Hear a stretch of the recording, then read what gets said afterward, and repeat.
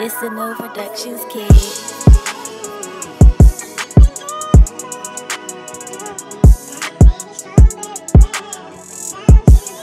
Don't act like you don't know. It's the no on the track.